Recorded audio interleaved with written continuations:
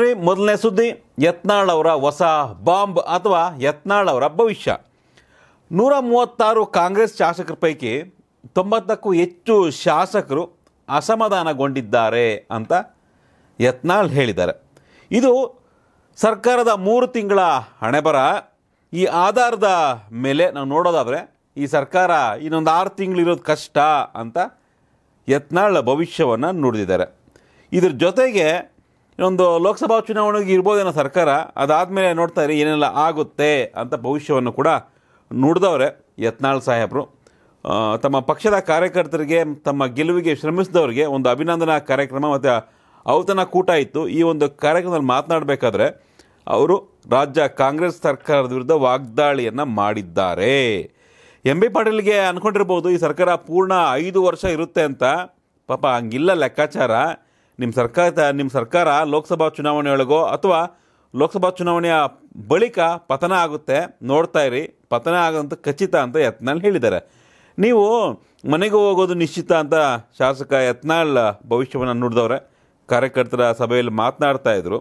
So ನಿಮ್ಮ ಉಚಿತ ಯೋಜನೆಗಳಿಗೆ ಜನರು ಉಚಿತವಾಗಿ ಮತ ಹಾಕಿಲ್ಲ.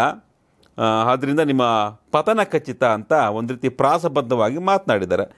ಕಾಂಗ್ರೆಸ್ ಸರ್ಕಾರದ ವರ್ಗಾವಣೆ ದಂಧೆ, ಐದು ಗ್ಯಾರಂಟಿಗಳ ಮೋಸತನ, ಬೆಂಗಳೂರು ಹಾಗೂ ಉತ್ತರ ಕರ್ನಾಟಕದ ಶಾಸಕರ ಒಂದು ರೀತಿ ಅಸಮಾಧಾನ ಕಾಡ್ತಾ ಇದೆ. ಹಾಗಾಗಿ ರಾಜ್ಯ ಸರ್ಕಾರ ಒಂದು ರೀತಿ ಅಸ್ಥಿರತೆಯಿಂದ ಕೂಡಿದೆ ಅನ್ನೋ ಮಾತುಗಳನ್ನು ಹೇಳಿದ್ದಾರೆ ಯತ್ನಾಳ್. ಸರ್ಕಾರ ಅಭಿವೃದ್ಧಿಗೆ ಹಣ ನೀಡ್ತಾ ಇಲ್ಲ. ಏನು ಹೇಳಿದರೂ ಕೂಡ ಗ್ಯಾರಂಟಿಗಳ ನೆಪ ಹೇಳ್ತಾ ಇದ್ದಾರೆ. ಹೀಗಾಗಿ ಸರ್ಕಾರ ತನ್ನಿಂದ ತಾನೇ ಪತನ ಆಗುತ್ತೆ.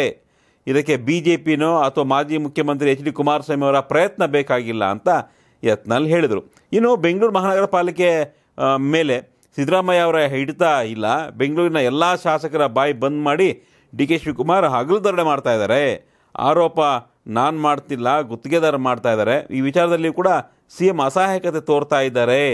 ಸರ್ಕಾರದಲ್ಲಿನ ಭ್ರಷ್ಟಾಚಾರದ ಕುರಿತು ಅವರದ್ದೇ ಶಾಸಕ ಬಸವರಾಜ ರೆಡ್ಡಿ ಆರೋಪ ಮಾಡಿದ್ದಾರೆ ಅಂತ ಹೇಳಿದರು. ಇನ್ನು ಇದೇ ವಿಚಾರಕ್ಕೆ ಮಾತಾಡಿರತಕ್ಕಂಥ ಮಾಜಿ ಸಿ ಎಂ ಯಡಿಯೂರಪ್ಪ ಅವರು, ರಾಜ್ಯದಲ್ಲಿ ರಾಜಕೀಯ ಅಸ್ಥಿರತೆ ಇದೆ. ಕೃಷಿ ಮಂತ್ರಿಗಳ ವಿರುದ್ಧ ರಾಜ್ಯಪಾಲರಿಗೆ ದೂರು ನೀಡಲಾಗಿದೆ. ತನಿಖೆಗೆ ಆದೇಶಿಸಿದ್ದಾರೆ. ಕಾದ್ ನೋಡೋಣ ಅಂತ ಹೇಳಿದ್ದಾರೆ. ಶಿವಮೊಗ್ಗದಲ್ಲಿ ಮಾತನಾಡಿದರು ಯಡಿಯೂರಪ್ಪ ಅವರು. ರಾಜಕೀಯವಾಗಿ ಸರ್ಕಾರದ ಮಂತ್ರಿಗಳ ಮೇಲೆ ನಿರಂತರ ಭ್ರಷ್ಟಾಚಾರ ಆರೋಪ ಕೇಳಿಬರ್ತಾ ಇದೆ. ಭ್ರಷ್ಟಾಚಾರದ ಆರೋಪಗಳು ತನಿಖೆಗಳ ಮೂಲಕ ಹೊರ ಹೊರಬರಬೇಕು ಮತ್ತು ಸಚಿವರನ್ನು ಕ್ಯಾಬಿನೆಟ್ನಿಂದ ಕೈ ಬಿಡಬೇಕು ಅಂತ ಯಡಿಯೂರಪ್ಪ ಅವರು ಒತ್ತಾಯವನ್ನು ಮಾಡಿದ್ರು. ಮತ್ತೊಂದು ಕಡೆ ಬೆಂಗಳೂರಲ್ಲಿ ಮಾತಾಡಿದಂತಹ ಮಾಜಿ ಡಿ ಸಿ ಎಂ, ಮಾಜಿ ಸಚಿವ ಆರ್ ಅಶೋಕ್, ರಾಜ್ಯದಲ್ಲಿ ಭ್ರಷ್ಟ ಸರ್ಕಾರ ಇದೆ. ಈ ಸರ್ಕಾರ ಬಹಳ ದಿನ ಇರಲ್ಲ ಅಂತ ಭವಿಷ್ಯ ನೋಡಿದವರೆ ಯತ್ನಾಳ್ಸಿ ರೀತಿಯಲ್ಲಿ ಈ ಸರ್ಕಾರ ಬಹು, ಬಹುದಿನ ಇರಲ್ಲ ಅಂತ ಹೇಳಿದ್ದಾರೆ. ಕಾಂಗ್ರೆಸ್ ಇದು ಕಮಿಷನ್ ಸರ್ಕಾರ, ಎ ಟಿ ಎಂ ಸರ್ಕಾರ ಇದರ ವಿರುದ್ಧ ಹೋರಾಟ ಮಾಡ್ತೇವೆ ಅಂದರು, ಮಂಡ್ಯದಲ್ಲಿ ಈಗಾಗಲೇ ಸರ್ಕಾರದ ವಿರುದ್ಧ ಹೋರಾಟ ಆರಂಭ ಆಗಿದೆ. ಈ ರಾಜ್ಯದಂತ ನಾವು ಹೋರಾಟ ಮಾಡ್ತೀವಿ. ಭ್ರಷ್ಟ ಸರ್ಕಾರ ತುಂಬ ದಿನ ಇರಲ್ಲ ಅಂತ ಭವಿಷ್ಯವನ್ನು ನೋಡಿದ್ರು. ಆರ್ ಅಶೋಕ್ ಒಟ್ಟಿನಲ್ಲಿ ಸರ್ಕಾರ ತುಂಬ ದಿನ ಇರಲ್ಲ ಅಂತ ಬಿ ಜೆ ಪಿಗರು ಪದೇ ಪದೇ ಪದೇ ಪದೇ ಹೇಳ್ತಾ ಇದ್ದಾರೆ. ಅವರೇ ಹೇಳಿದ್ರು ನೂರ ಮೂವತ್ತಾರು ಜನ ಇದ್ದಾರೆ. ಆಪರೇಷನ್ ಕಮಲ ಮಾಡೋಕ್ಕಾಗಲ್ಲ. ಯಾಕಂದರೆ ಇವ್ರದ್ದು ಅರವತ್ತಾರು ಜೆ ಡಿ ಒಂದು ಹತ್ತೊಂಬತ್ತು, ಎಲ್ಲ ಸೇರಿದ್ರು ಇವ್ರಿಗೆ ನಂಬರೇ ಇಲ್ಲ. ಸೊ ಎಂಬತ್ತೈದು ಮಂದಿ ಸ್ಟಾಪ್ ಆಗುತ್ತೆ. ಎಂಬತ್ತೈದಕ್ಕಿಂತ ಜಾಸ್ತಿ ನಂಬರೇ ಹೋಗಲ್ಲ ಇವ್ರದ್ದು ಹಾಗಾಗಿ ಆಪರೇಷನ್ ಮಾಡೋಕ್ಕೆ ಸಾಧ್ಯನಾ? ಆಪರೇಷನ್ ಮಾಡಿ ಅಷ್ಟು ಜನ ಸಪೋರ್ಟ್ ಕೊಟ್ಟು ಅಥವಾ ರಾಜೀನಾಮೆ ಕೊಟ್ಟು ಮತ್ತೆ ಗೆದ್ದು ಬರೋಕ್ಕಾಗುತ್ತಾ? ಸೊ ಆಪರೇಷನ್ ಎಲ್ಲ ಆಗ, ಆಗದಿರ್ತಕ್ಕಂಥ ಮಾತು. ಹಾಗಾಗಿ ಸರ್ಕಾರಕ್ಕೆ ತೊಂದರೆ ಇಲ್ಲ. ರಾಜಕಾರಣವಾಗಿ ಈ ಥರ ಮಾತಾಡ್ತಾ ಇದ್ದಾರೆ ಅನ್ನೋ ಒಂದು ಚರ್ಚೆ. ಅಸಮಾಧಾನ ಇದ್ದದ್ದೇ. ಸಾಮಾನ್ಯವಾಗಿ ಒಂದು ಮನೆ ಅಂದಮೇಲೆ ಅಸಮಾಧಾನ ಇದ್ದೇ ಇರುತ್ತೆ. ಕಾಂಗ್ರೆಸ್ನಲ್ಲೂ ಕೂಡ ಅಸಮಾಧಾನ ಇದೆ. ಕೆಲವು ಸಚಿವರಲ್ಲೂ ಅಸಮಾಧಾನ ಇದೆ. ಶಾಸಕರಲ್ಲೂ ಕೂಡ ಅಸಮಾಧಾನ ಇದೆ. ಹೀಗಾಗಿನೇ C M Siddaramaiah D C M D K Shivakumar ಜಿಲ್ಲಾವಾರು ಶಾಸಕರ ಸಭೆಯನ್ನು ಮಾಡಿ ಅವರ ಸಮಸ್ಯೆಯನ್ನು ಏನು ಅಂತ ಕೇಳಿ ಇತ್ಯರ್ಥ ಮಾಡೋಕ್ಕೆ ಮುಂದಾಗಿದ್ದಾರೆ. ನೋಡೋಣ.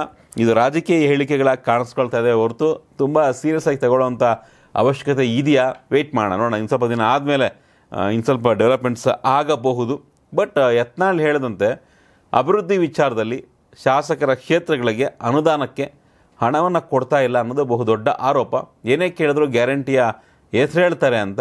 ಬಟ್ ಗ್ಯಾರಂಟಿಗೆ ತನ್ನದೇ ಆದಂಥ ಏನು ಅದಕ್ಕೆ ಬಜೆಟ್ನಲ್ಲಿ ಹಣವನ್ನು ಮೀಸಲಾಗಿ ಇಡಲಾಗಿದೆ. ಅದು ಬಿಟ್ಟು ಬೇರೆ ಕ್ಷೇತ್ರಗಳಿಗೆ ಅನುದಾನಕ್ಕೆ, ಬೇರೆ ಬೇರೆ ಯೋಜನೆಗಳಿಗೂ ಕೂಡ ಹಣವನ್ನು ಮೀಸಲಾಗಿ ಇಡಲಾಗಿದೆ. ಅದಕ್ಕೂ ಇದಕ್ಕೆ ಸಂಬಂಧ ಇಲ್ಲ. ಸೊ ಬರೀ ಯತ್ನಾಳ್ ಆರೋಪ ಆದರೆ ಓಕೆ, ಬಿಡ್ಬೋದು. ಬಟ್ ಶಾಸಕರ ರಿಯಾಲಿಟಿ ಹಿಂಗೆ ಇದ್ದರೆ ಕಷ್ಟ ಆಗಬಹುದು ಮುಂದಿನ ದಿನಗಳಲ್ಲಿ. ಶಾಸಕರು ರೆವಲ್ ಆಗ್ತಾರೆ ಗ್ಯಾರಂಟಿ ಡೆಫಿನೆಟ್ಲಿ ಆಕ್ರೋಶವನ್ನು ಹೊರ ಹಾಕ್ತಾರೆ. ಇಲ್ಲ ಅಂತಲ್ಲ ಈಗಾಗಲೇ ಶುರು ಆಗ್ತಾ ಇದೆ. ನೋಡೋಣ ಮುಂದೇನಾಗುತ್ತೆ ಅಂತ.